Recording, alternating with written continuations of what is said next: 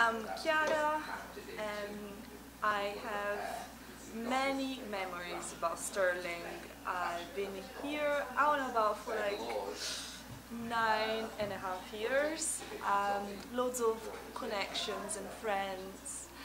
My fondest memory and I guess the most random as well is when Italy won the World Cup in 2006 and the Football World Cup. And I was here like not very far away from the engine shed building in Riverside. Um, beautiful uh, residential area just in the winding uh, corner of the river here.